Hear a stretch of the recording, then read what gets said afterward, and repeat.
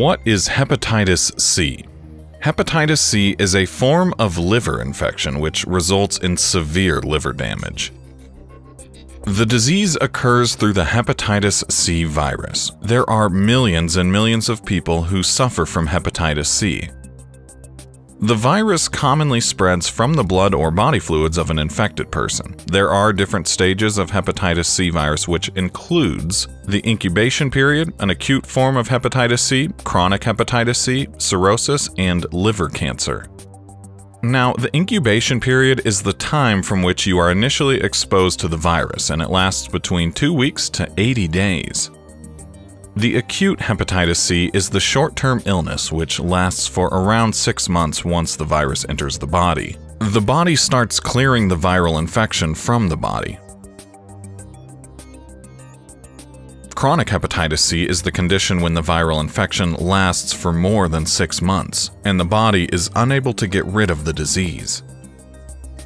It leads to severe liver complications like cirrhosis or cancer. Hepatitis C virus results in the inflammation of the liver, which ultimately leads to scarring of the liver, which takes around 20 to 30 years.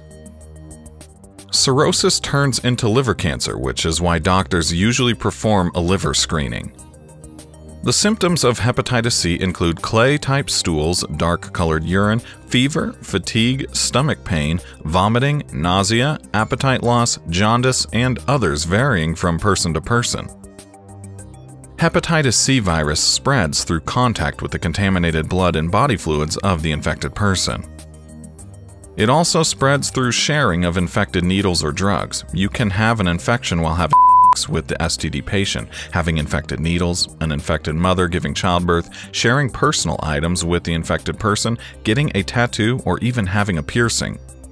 The symptoms of advanced hepatitis C includes fluid buildup within the legs or abdominal cavity. Example, edema or ascites, gallstones, improper functioning of the brain, example, encephalopathy, easy bruising or bleeding, kidney failure, itching, muscle loss, issues with memory or concentration, vomiting with blood, weight loss, skin having spider-like veins, or many others.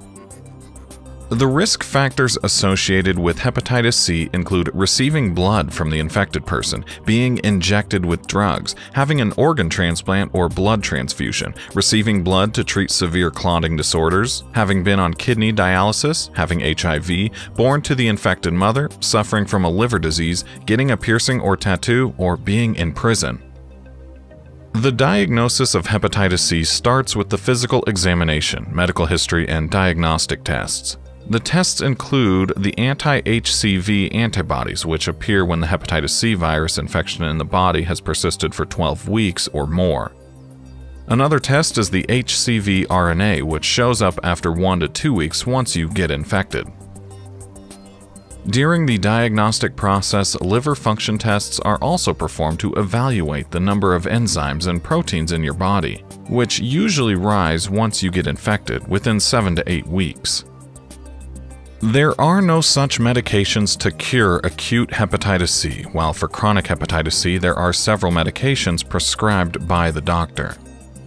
The complications of hepatitis C include the long-term infections where it can result in scarring or liver cirrhosis, liver cancer, and liver failure.